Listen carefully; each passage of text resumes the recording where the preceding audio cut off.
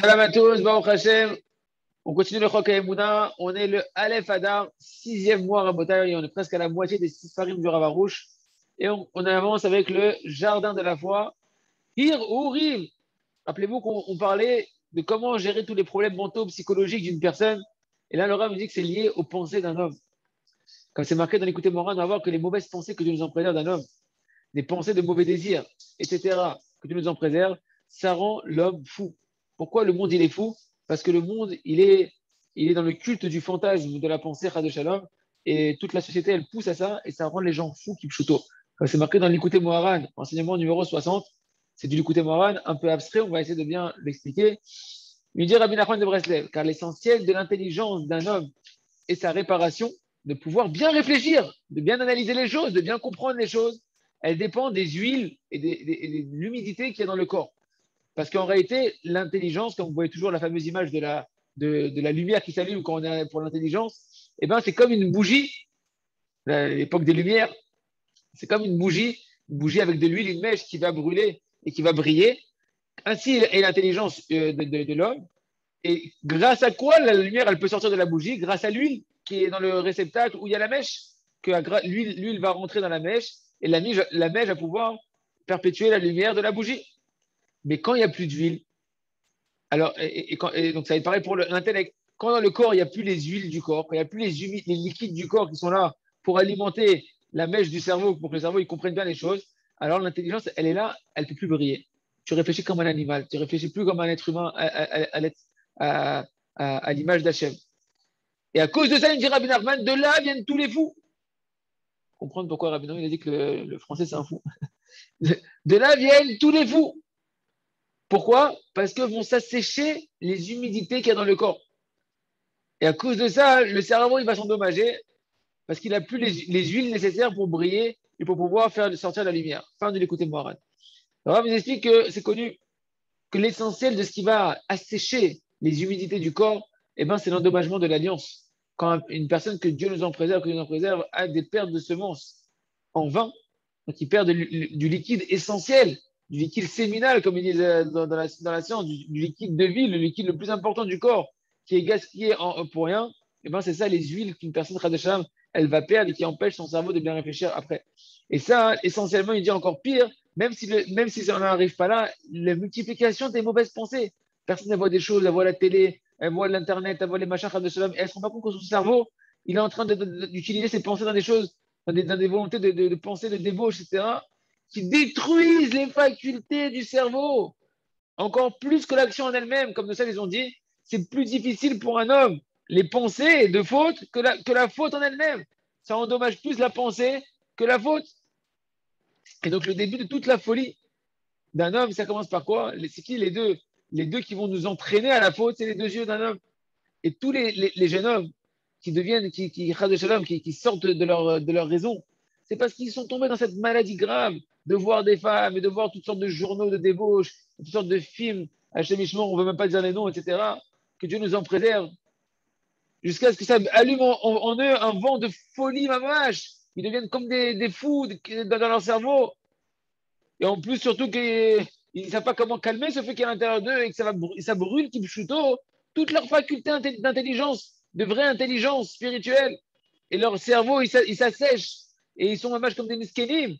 Que Dieu nous en préserve pour ces gens-là. Et quelquefois, on voit que ça s'empire, de shalom, encore plus avec quoi Que le cerveau il va être encore plus endommagé quand les gens ils vont utiliser toutes sortes de, drogues, de, de, de, fumer toutes sortes de choses hein, qui, sont, qui, sont, qui, sont, qui, altèrent les facultés du cerveau. Il y en a même qui sont, le dit, tellement enfoncés dans cette tava-là, qu'ils deviennent véritablement fous. Les gens, ils deviennent complètement illogiques dans leur manière de réfléchir et ils deviennent fous. Et c'est sûr que ces gens-là, ils sont embrouillés après, ils sont affolés de toutes sortes de choses. Ils n'arrivent plus à avoir de la tranquillité à l'intérieur d'eux. Ils sont enfoncés dans une certaine tristesse, dans une profonde tristesse, dans un désespoir, dans de la, colère. Et comme on a expliqué, tout ça, c'est des maladies mentales. C'est pas normal. Un homme, il n'est pas censé vivre dans ces, sentiments-là et dans ces sauts d'humeur-là et dans ces, pensées de tristesse, etc. Et tout ça, c'est de la folie. Toutes ces pensées-là, de tristesse, de colère, d'affolement, de, de, stress, c'est de la folie. Et même si les gens, tu les vois qui continuent à travailler, ils, ont une vie plus ou moins sociale, Ces gens-là, Rabbi Nachman dit ce ne sont pas des êtres humains à l'image d'Hachem, ce sont des animaux qui sont, qui sont sur deux pattes et ils sont sortis en réalité de la véritable intelligence divine qui est en eux, que Dieu nous en préserve. Et que chacun puisse travailler sur ses yeux, travailler de, mettre des fils sur ses téléphones, de de moins en moins des bêtises, d'avoir un esprit propre et de ne pas perdre les, liquides de son corps, de Shalom, et pouvoir avoir un intellect qui brille, un intellect de Emouna, de voir Hachem, de vivre une vie belle et tranquille, heureuse et sereine. On continue avec le jardin des louanges, les petites souffrances toutes petites de la vie de tous les jours. Alors maintenant, il dit le Rav, on doit bien étudier qu'est-ce qu'on appelle des petites souffrances? Parce qu'on a dit que l'acceptation d'une petite souffrance avec joie, ça évite 5000 fois plus de souffrances qui pourraient arriver sur nous, sans acceptation dans la simcha, pour effacer des fautes et pour pouvoir recevoir des, des délivrances. C'est quoi des petites souffrances alors? C'est quoi les plus petites souffrances? Jusqu'où là-bas, on peut considérer que c'est des souffrances qui ont été envoyées par Hachem pour réparer nos fautes et que nous, on doit faire un travail de les accepter avec amour. Que ces, petites souffrances-là, ça s'appelle des souffrances que tu peux réparer tes fautes avec et recevoir des choses extraordinaires, comme, on a dit, comme la Gemara dans nous dit, c'est-à-dire, non, c'est pas dans, dans Masachet Brachot, on a dit le Olamaba, Eretz Israël et, la Torah. Alors la Gemara dans Erechin, page 16, dans le deuxième côté de la, de la page, et nous enseigne en réalité jusqu'où vont les souffrances qu'Hachem il envoie à un homme qui sont sous la providence d'Hachem. Et Rachid, il nous dit, c'est-à-dire quoi Jusqu'où tu peux dire que c'est ça la petite souffrance qu'Hachem il gère encore dans la vie d'un homme, qu'on appelle ça une souffrance, et qu'elle répare les fautes. Dans ce monde-là. Et la Gemara, elle répond, elle répond, réponse extraordinaire. Amar Rabbi El il dit quand une personne maintenant, il va faire coudre un vêtement, et il voit que c'est trop serré, ou c'est un peu trop grand, que c'est pas pile comme il voudrait, D'accord Que c'est pas le vêtement que tu as acheté, il n'est pas pile à ta taille, ou que la, couturière elle n'a pas fait pile à ta taille. Eh bien d'après Rabbi El-Hazar, si un homme il accepte ça avec Bessimcha, ça s'appelle des souffrances. Déjà, les plus petites qu'Hachem il a, il a engendré dans la vie d'un homme. Même ça, c'est géré par Hachem. Tu as mis, ton, ton, as mis ton, pull à la machine à laver, il ressort rouge au lieu de, de, de, de rose, ou bien il a, il a ratréci au lavage. Ça s'appelle des souffrances qu'Hachem il a fait déjà pour préparer tes avérotes. Et si tu les acceptes avec, avec, avec amour, alors ça, ça répare toute la vérote. Par exemple, que, et, grâce à ça, tu vas éviter de devoir souffrir avec des grandes souffrances. Par exemple, un homme qui, quoi? Un homme qui va avoir la, la, dans la providence divine. Que comme ça, Kadosh Baruchou, il, il a voulu. Comme ça, il a voulu que le couturier, il a fait cette taille-là ton vêtement-là. Alors qu'est-ce qu'il va faire? Au lieu de se plaindre, dire ouais, mais je ne comprends pas, moi je vous ai payé, vous me faites un, un vêtement qui n'est pas à ma taille. Il va, il va louer le couturier, il va le remercier, pour les efforts qu'il a fait pour lui. Il va dire au couturier Tu es un couturier excellent, tu m'as fait un vêtement parfait. Alors que toi, tu sais très bien que le vêtement, il est la manche, tu devais te la raccourcir à tel niveau et tu l'as trop raccourci, pas assez raccourci. Ça s'appelle des souffrances que c'est lui t'a envoyé, mon ami. Tu vas voir que le couturier, il va, il, va, il va, il va bégayer, il va dire Mais, il est pas, pas réussi à faire ce que vous avez demandé, etc. L'acheteur, il doit lui dire Tu as fait du mieux que tu pouvais, mais le créateur, il avait d'autres comptes pour moi. Il a voulu me réparer des avérotes par des toutes petites souffrances comme ça. C'est pourquoi il a fait que par toi, n'as pas réussi à faire le vêtement comme il fallait. Baruch Hashem Merci Hashem Regardez comment la vie, elle devient extraordinaire à. Et ça, ça s'appelle accepter les souffrances avec foi. Que comme ça, Hachem, il veut, avec amour, que tu es heureux de ces toutes petites souffrances de rien du tout. Et ça, Rabotaï, regardez l'amour d'Hachem, ça, ça répare toutes tes fautes. Toutes tes fautes. Et tu es en train de créer par ça des réceptacles spirituel pour recevoir toute l'abondance qu'Hachem va te donner spirituelle que tu as besoin. Mais un homme qui ne croit pas dans Hachem, dans la providence d'Hachem, qui va jusque dans ses moindres détails, qui ne croit pas dans la providence divine, dans les moindres détails, alors lui, comment il va se comporter? Non seulement qu'il ne va pas accepter avec amour la situation, mais il va se mettre en colère sur le couturier, il va mépriser le couturier. Mais qui vous voyez que c'est l'enfer sur terre quand tu n'as pas la dans la pratique. Il va, il va mépriser le couturier, il va l'insulter. Il dit Mais dis-moi, où t'as appris à faire de la couture? Moi, je vais pas te payer, ça va pas ou quoi? Tu m'as fait un vêtement, il n'est même pas la bonne taille. Et il va commencer à lui faire toutes sortes de. Il se rend pas compte qu'il va lui faire toutes sortes de choses qui sont des avérotes. tu vas tomber dans la colère. La personne va tomber dans, les hontes, que c'est des avérotes graves que tu es en train de faire du couturier, parce que tu n'as pas la Mouna, que c'est Hachem qui a fait ça. Et c'est Barou et Pachout et évident que ces souffrances-là qu'il est en train de vivre, elles ne lui réparent rien du tout. Non seulement tu souffres, mais en plus, tu répares rien. Tu tombes dans des, dans, avérotes de colère et de, honte à ton prochain. Tu as rajouté des avérotes sur toi, ça t'enlève pas tes fautes. Et, et, en même temps, tu dois toi demander pardon au couturier parce que tu n'as pas le droit de lui manquer de respect. Tu dois faire même tes sur le fait que tu as manqué de respect. Et on sait combien c'est difficile de faire tes sur les fautes envers son prochain. Et la Gemara continue là-bas de dire, Rava, il a dit, jusqu'où ça va les souffrances, Rabotai? Rava, il va encore plus loin. La Gemara va descendre encore un niveau encore plus dans les détails. Chez Khalifa, Jelonin, Pera, Bemida, Zéomnam sur une tannée, on a dit que c'est vrai que, ok, que le, vêtement, il n'est pas la bonne taille, c'est des, petites souffrances. Mais il dit ça, il y a des souffrances encore plus petites que ça que Hachem là-bas, il peut réparer tes fautes. Même si maintenant, tu as demandé à ce qu'on te sert un, thé chaud, d'accord? Et on t'a servi un thé froid. Ton café, il est froid. Tu as demandé un café chaud, on t'a amené un ice coffee. OK? Ou bien l'inverse, tu as demandé quelque chose, euh, euh, as demandé à ta femme une soupe, elle t'a mis une soupe froide. Eh bien, Rabotage, ça s'appelle des souffrances qu'Hachem, il a organisées pour te réparer tes fautes, toutes tes fautes. Si tu vois la main d'Hachem là-bas bienveillante et que tu remercies Hachem, que de la marmoute, que de te couper la tête, il t'a juste servi un, thé froid.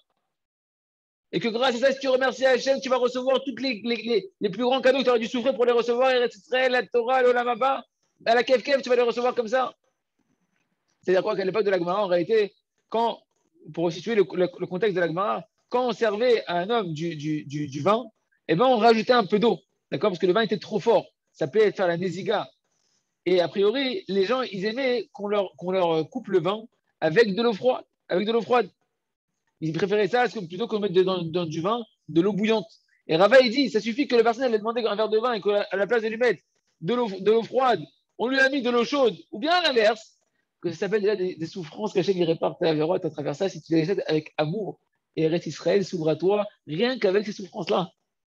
Bataille. Faut se réveiller, on ne se rend pas compte de quoi on parle. Tous les gens qui reviennent d'Israël, tout temps les discours, c'est parce qu'ils n'ont pas cet enseignement-là. Il faut leur donner cet enseignement-là, il faut leur donner ces vidéos, ces livres-là. Les gens, ils viennent en Israël, ils ne sont pas préparés. Israël, ça s'éclaire que dans la souffrance. Mais Hachem, il est Rahman, des petites souffrances comme ça. Et donc, on va, on, va, on, va, on va accentuer la chose pour nous. Maintenant, un homme, il vient et il demande Servez-moi, s'il vous plaît, un bon thé chaud. Et on lui a amené un thé tout froid au restaurant ou au café, ou sa femme, hein, sa femme. Ou bien tu as demandé Amenez-moi un bon coca froid. Le bonhomme, il t'amène un coca chaud. Ah, il a laissé au soleil, le, le coca, il s'est trompé, il a vu la bouteille qui était à 35 degrés. Et là, là, à 40 degrés, il tient un verre, il, il te l'amène comme ça avec le sourire. Si tu n'as pas la émouna dans la Hajgara pratique, ouais, ouais, ouais, comment tu vas te mettre en colère sur le serviteur, la personne, ta femme ou ton enfant, chez Mishmor ou la femme, tu vas l'humilier devant tout le monde, qu'est-ce que tu fais Espèce d'idiot, espèce de métumtam, tu comprends rien, t'as pas d'oreille ou quoi et tu vas commencer à le mépriser. Et tu vas tomber toi-même dans des avérotes terribles par ton manque de foi dans la miséricorde de Hachem qui organise ces petites souffrances par amour pour toi. Mais un homme qui a la dans la providence divine, il va dire merci Hachem Comme ça Hachem il a voulu Comme ça Hachem il veut Et il accepte avec amour son, petit, son, son, thé froid ou son, son coca chaud. Il va même dire au Shadiar, Même si, même si, même si celui qui lui a amené le verre, il lui dit Mechila, je suis désolé, je me suis embrouillé, je n'ai pas fait exprès de vous avoir ramené le contrat de ce que vous m'avez demandé. Toi, tu vas lui dire Comme ça, Hachem, il a voulu me réparer ma vérote, mon ami. Merci pour ton, pour ton service, de m'avoir amené, m'avoir amené le thé, même s'il est froid. Merci beaucoup. Tu es que le serviteur d'Hachem pour réparer ma vérote. Tu vas mettre des délivrances avec ça. Alors, on continuera demain, mais je vous assure, c'est les plus beaux passages de la Torah que j'ai étudiés dans ma vie celui qui, intériorise ça, qui prie pour vivre ça, il vit le paradis sur terre à Botaï. Il vit le paradis sur terre. Mais Kipchuto, Kipchuto. On continue avec à travers et forêts pour faire une HM, notre heure du des doutes. Et c'est le but de tout le Rock à Botaï, c'est d'arriver à faire cette heure du des doutes. Sinon, tout le reste sera de la théorie et s'envolera après avoir fermé l'écran ou le livre. Donc, n'oubliez pas de faire, de vous battre pour mettre dans votre journée ce qu'il y a de plus important qui est l'heure du des doutes. On rentre dans les mots. Le principe général, c'est qu'un homme doit se renforcer dans sa émouna que tout est pour le bien. On est en train de finir le chapitre du remerciement sur la des doutes. Et seulement une fois que la personne s'est renforcée dans cette foi que tout est pour le bien, alors il peut se tourner vers le Créateur avec un œil positif, parce qu'il sait que tout est pour le bien, et parler avec Hachem un discours positif. Tant qu'un homme il n'a pas cette foi que tout est pour le bien et qu'il ne dit pas merci à Hachem sur sa situation dans il est, alors toute, toute requête que tu vas dire à Kadosh Baruch eh ben, elle, elle va être remplie d'un sentiment que quelque chose ne va pas dans ta vie. Et ça, ça s'appelle des pleurs en vain. Ça s'appelle des plaintes. Et ça, ça énerve Hachem Kaviachol, si on peut dire ainsi, ça énerve le tribunal céleste. Lorsque le, Créateur, il voit que quelqu'un, il vient devant lui avec, avec, un sentiment à l'intérieur de lui. Tu viens parler à Hachem, c'est super, c'est génial. Mais tu viens avec le sentiment qu'Hachem, il fait des crasses, qu'Hachem, il n'est pas bon avec toi. alors Hachem, comme il ne peut pas t'aider. Parce qu'il ne peut pas t'entendre. Il ne peut pas entendre du mensonge qui sort de ta bouche. Il ne peut pas te voir que tu viens avec de l'ingratitude, d'une telle ingratitude. Comme c'est marqué dans le Sefer de Rabbi Nachman de Breslev, que lorsqu'une personne est triste, Hachem n'est pas avec lui. Tu peux parler avec Hachem, tu peux mettre tes tefilines, tu peux faire ce que tu veux, tu es triste, Hachem n'est pas avec toi. Jacob Avinu, 22 ans, il était triste, Jacob Avinu, Jacob, le patriarche, 22 ans triste, 22 ans plus la Shrina. Parce qu'il ne comprend pas pourquoi Yosef il a disparu, il pense que c'est injuste, Hachem l'a quitté. Même Jacob Avinu. En bataille. Un homme, juste, par contre, dès qu'un homme, il commence juste à dire merci à Kadosh Baruch à ce moment-là, on lui ouvre devant lui toutes les portes, tous les verrous, il saute, comme c'est marqué dans le Zohar à Kadosh, de manière claire, que dès qu'un homme, il rentre dans le palais du roi, qui vient, qui dit merci à Hachem, on lui ouvre toutes les portes du palais du roi. Et le roi, il l'attend avec des yeux languissants. C'est Akadosh Baruch il dit, il est où? Il est où celui qui est cet enfant qui vient me ce cadeau de merci? Qui vient me dire merci, que c'est le plus grand cadeau qu'on peut me faire sur terre, c'est de me dire merci. Viens mon fils, rentre devant moi, viens me dire merci. Tout le monde de pleurniche, toi tu viens me dire merci. Passe devant tout le monde, je mets tout le monde de côté, je ferme les bureaux, je m'enferme avec toi, je vais kiffer un peu. Il y un qui est venu, qui, me connaît un petit peu, qui connaît un peu qui je suis. Et maintenant, quand l'homme il se trouve maintenant devant Hachem, parce qu'Hachem, il dit qu'il ouvre toutes les portes quand tu dis merci. T'es devant Hachem, c'est bon, une que tu lui as dit merci à Hachem, t'es devant lui, il n'y a plus personne. Tu peux lui demander ce que tu veux maintenant, mon ami. T'es avec le roi en privé, en VIP. Et il a, il verrouillé toutes les portes de ce qui veut pas, les pleurnicheurs, il ne veut plus les écouter, tu es seul avec lui. Une fois que tu as remercié Hachem, maintenant tu peux parler avec lui sans plainte, sans pleurnicherie. Tu as parlé avec beaucoup de ton problème, maintenant tu es avec lui, seul avec lui, avec un œil positif, avec une volonté positive de savoir qu'est-ce que tu veux Hachem de moi dans mon problème? Je te remercie de mon problème Hachem, qu'est-ce que tu veux m'apprendre ici? Comment tu veux m'améliorer ma vie ici? Comment tu veux me rapprocher de toi ici? Par exemple, quelqu'un qui n'arrive pas à se marier, ça se retarde, ça se retarde, qu'est-ce qu'il doit dire? Merci à Kadosh Baruchou que j'ai pas encore mon zivou. C'est sûr que c'est ce qu'il y a de mieux pour moi jusqu'à présent. Je parle pas pour le futur. Jusqu'à présent, c'est ce qu'il y a de mieux à Kadosh. Fais-moi mériter de comprendre qu'est-ce que je dois réparer encore. Qu'est-ce que je dois faire ici? Quelle faute j'ai fait qui me ferme la trouvaille de mon conjoint? Quelle, prière il me manque?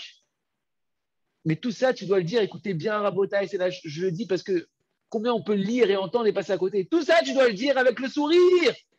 Merci Hachem. Qu'est-ce que je dois réparer Hachem? Qu'est-ce que je dois réparer Hachem Qu'est-ce que je dois réparer Hachem avec la Emouna?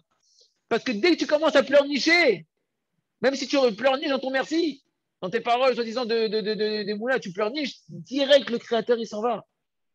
Les, les, tribunaux célestes, ils ferment les portes. Est-ce qu'Akadosh Baruch il a créé le monde pour que ces créatures, elles pleurnichent Est-ce qu'Akadosh Baruch il a, créé, il a créé le monde pour ça? Non, Hachem a créé le monde pour que ces créatures, elles sourient, qu'elles soient heureuses, qu'elles croient en lui, qui dirige le monde avec bonté, avec miséricorde pour le bien de chacun.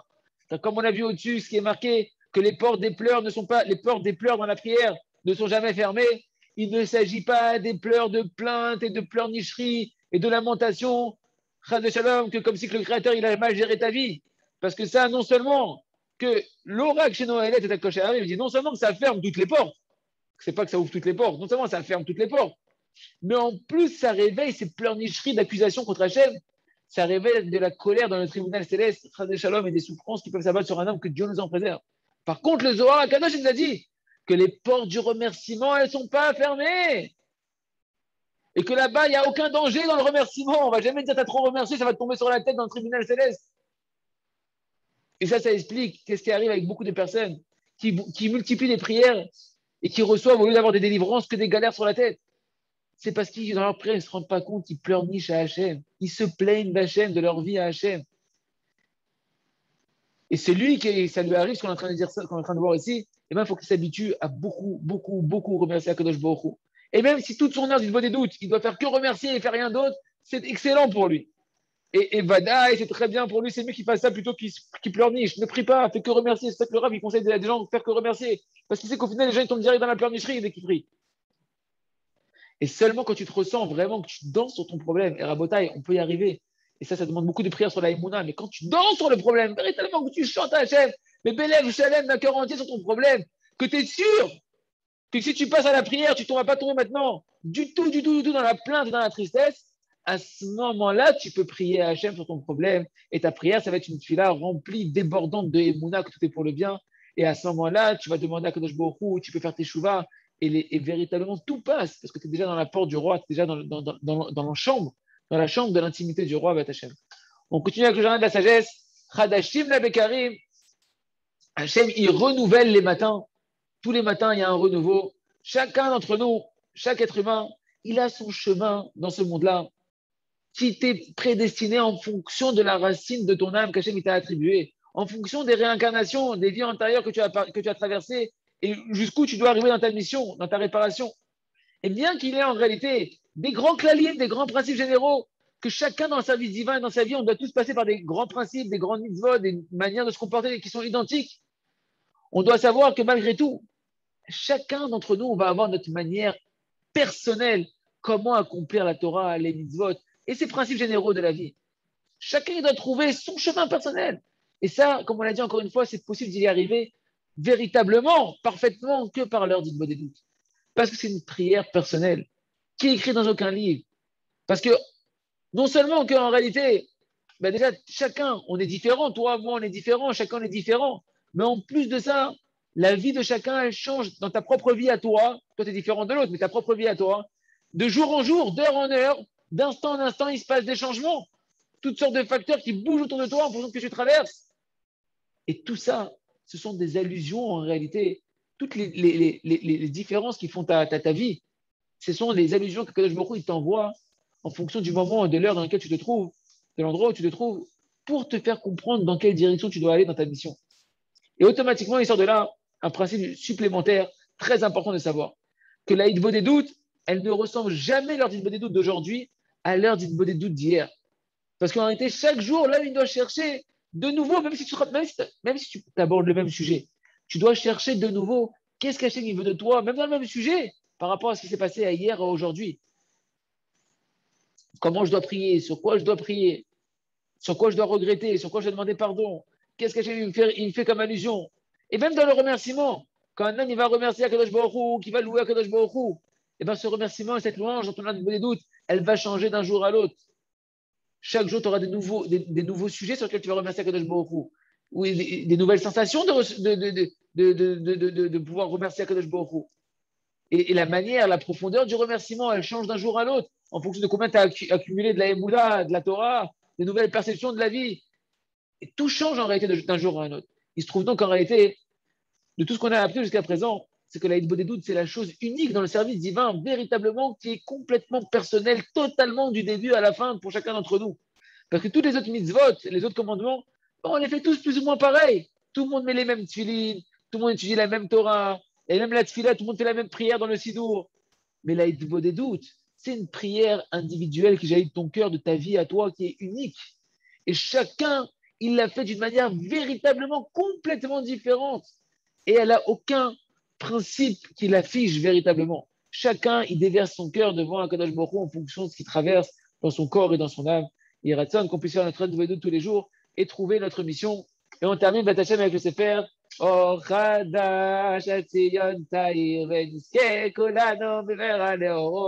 Cinquième fondement de la, de la foi pour avoir une prière parfaite.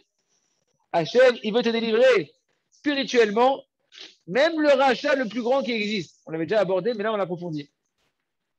D'après, ah, même après tout ce qu'on a vu, tout ce qu'on a pu étudier, il y a encore ici la possibilité pour les Baraladines, la vol, le pour l'ange de l'accusation de venir et accuser, venir avec des arguments dans ta tête et dire à l'homme, hommage, des choses qui peuvent le décourager.